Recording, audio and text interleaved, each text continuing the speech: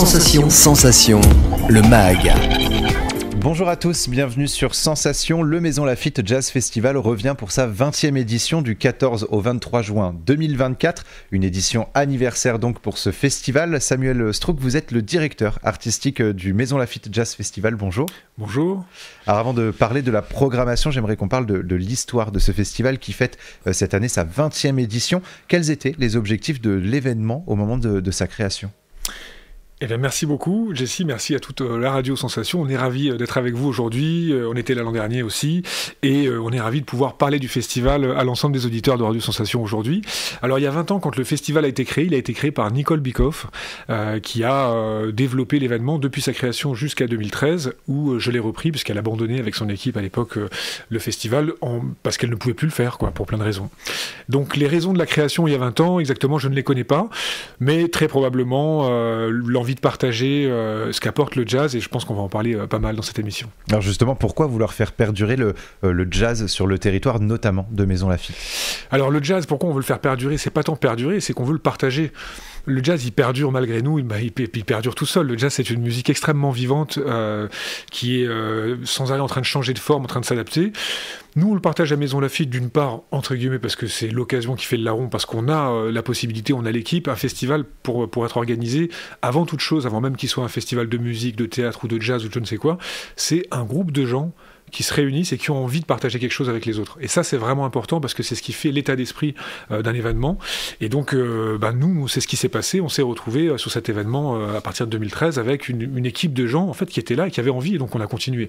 Alors après, à Maison Lafitte particulièrement, simplement parce que euh, le jazz euh, a droit de citer partout, le jazz euh, parle à tout le monde. Et moi, bon, après ça c'est parce que je suis musicien par ailleurs et jazzman et j'aime ça. S'il pouvait y avoir du jazz matin, midi et soir partout dans toutes les rues, je serais l'homme le plus heureux du monde. Donc le partager à Maison Lafitte, c'est faire part de mon effort auprès de tous les autres festivals de jazz en France et dans le monde qui, qui font monter cette musique et qui la partagent avec tous. Le, jazz est un style musical qui a traversé hein, les, décennies avec notamment des jeunes artistes hein, qui, qui font du jazz. Est-ce que votre objectif à travers ce festival, c'est également de mettre en lumière ces jeunes, ces jeunes, ces jeunes pardon, artistes. Absolument. Euh, en gros, euh, le festival, il a, il a pour objectif de proposer l'événement le plus chaleureux, le plus accueillant, où on retrouve et on partage tous ensemble euh, des super concerts, une bonne ambiance, enfin voilà, des émotions et des sensations. Simplement, c'est vrai qu'il a aussi une part, entre guillemets, professionnel dans la filière en tant qu'événement euh, important, etc., qui se reproduit. Et dans la filière, il a vocation à euh, faire rencontrer euh, le public aux jeunes artistes. Quand on dit jeunes artistes, on parle de l'émergence, les artistes émergents. ils sont jeunes, mais ils sont très très talentueux. C'est pas comme en musique, comme dans beaucoup d'autres domaines, le talent n'attend pas le nombre des années. Et donc en réalité, oui, effectivement, on a on a ce souhait parce que très souvent aussi les jeunes sont vecteurs d'innovation, sont vecteurs de vivacité et je pense notamment, on en parlera tout à l'heure, à Léon Fall cette année qui va venir, qui est un très très jeune saxophoniste, qui euh, fait un carton depuis quelques années déjà, et qui arrive avec une proposition de jazz euh, tournée vers l'électro, euh, que tout le monde attendait depuis longtemps, et ça fait du bien de la proposer à Maison Lafitte. Et la programmation du festival s'étale donc du 14 au 23 juin, avec plusieurs scènes. On va justement parler de la programmation. On commence avec Génération Django, le 14 juin, sur la scène de l'ancienne église. Que nous réserve ce collectif? Alors, le collectif Génération Django, c'est vraiment une très belle proposition qui qui allie, euh, euh, pas mal de choses. D'une part, c'est Edouard Penn, euh, contrebassiste et guitariste, qui est par ailleurs quelqu'un que je connais bien, avec qui j'ai joué. Et Edouard Penn, c'est un gars extrêmement euh, sympa, toujours euh, partageur, toujours euh, qui a toujours envie de voilà et puis très marrant, c'est qu'un un beau sens de l'humour. Et il a monté ce projet Django Génération Django où il réunit des, super solistes de la musique de Django. Je pense à Fanou Toracinta ou bien Sébastien Gignot par exemple, hein, pour ne citer que Romain Villemain également. Et il a réuni ces, solistes-là avec une section rythmique pour jouer la musique de Django, mais il a amené là-dedans un quatuor à cordes classique mmh. et il propose des arrangements renouvelés de la musique de Django. Donc il y a la, fine fleur, euh, les fers de lance euh, des jeunes de la musique de Django, mélangés avec euh, du quatuor classique. Ça, ça promet d'être une soirée vraiment, vraiment très sympa. Alors justement, pour se faire une idée, on va écouter un extrait et on poursuit juste après.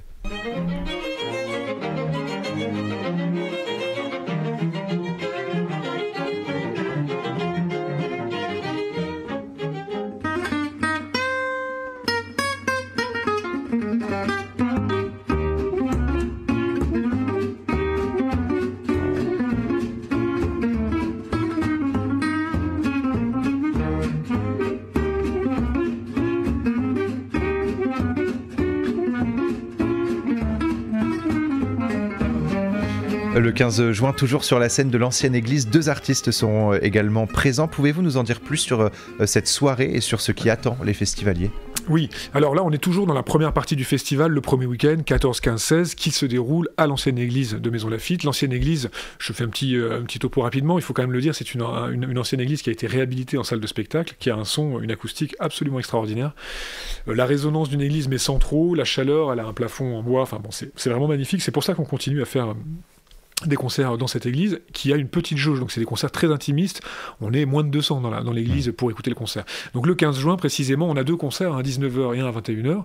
À 19h, c'est Hugo Lippi, euh, guitariste émérite euh, du jazz français, euh, qui joue vraiment vraiment super et qui propose un hommage aux grands guitaristes de l'histoire du jazz, Wes Montgomery, George Benson, Django Reinhardt aussi, voilà, et bien d'autres. Et à 21h, on accueille, on accueille pardon, bah, j'en parlais tout à l'heure, Léon Fall avec son quintet. Léon Fall, c'est la nouvelle génération dans le jazz français euh, qui vient proposer un jazz au croisement de la musique électro, euh, d'une certaine euh, ambiante, musique, voilà, enfin, référence à certaines musiques des années 90, etc. Et donc qui vient avec, avec cette proposition-là fraîche, péchue, nouvelle, et, et, qui plaît effectivement à, un panel générationnel assez large. Ça touche les jeunes auditeurs comme, comme les personnes voilà, plus âgées. Et donc voilà, ça c'est le 21 le, pardon, le, le 15 juin, le 15 juin à l'ancienne alors justement, le 16 juin, ce sera au tour de euh, Joey Homicile et Pierrick euh, Pedron Quartet de monter pardon, sur la scène de, de l'ancienne église. On va écouter un court extrait et on poursuit euh, juste après.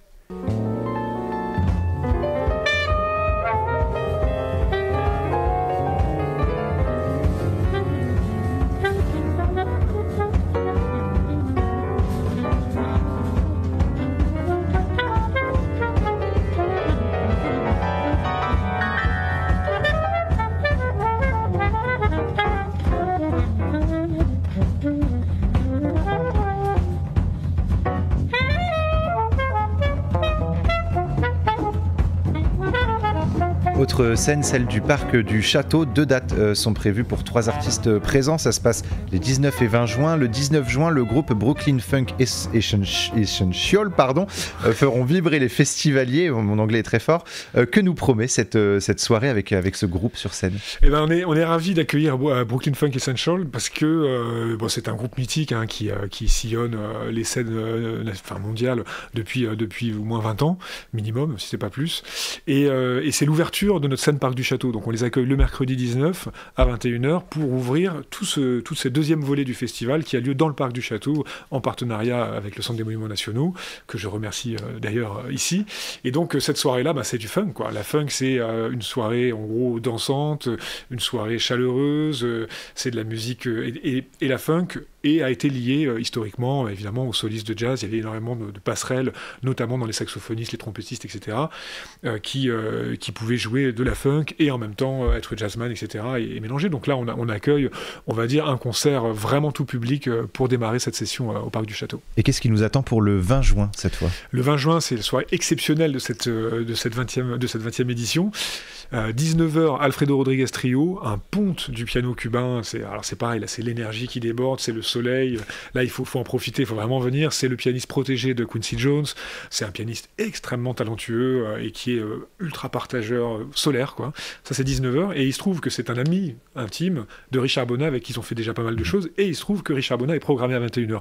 Donc, je pense que ça promet des échanges sur scène plus tard après. à mon avis, ils vont se, ils vont se, se, checker en loge et puis ils vont peut-être proposer quelque chose d'un peu exceptionnel au public. Donc, à 20h, ben, 21h, pardon, Richard Bonnat Richard Bonnat, on le présente plus, Richard Bonnat, c'est une vedette mondiale de la base du chant, de la musique africaine. C'est un leader euh, à tout point de vue, musical, euh, opinion, stylistique. Enfin, c'est quelqu'un qui a, qui, a une, qui a une aura extraordinaire, mhm. très sympa. Il était venu en 2019, il avait retourné euh, le parc du château, donc il revient pour cette 20e édition. Et le 22 juin, une soirée des artistes soutenue par la Spédidam est organisée au parc du château de 16h à 23h pour fêter notamment les 20 ans du festival. On y reviendra dans une prochaine émission. Merci beaucoup. Samuel Strouk d'avoir été avec nous sur euh, Sensation. Le Maison Lafitte Jazz Festival, c'est donc du 14 au 23 juin. Pour plus d'informations et pour la billetterie, on peut se rendre sur le site maison-lafitte-jazz-festival.com. Et pour revoir ou réécouter cette émission, rendez-vous sur notre site et notre application Radio Sensation.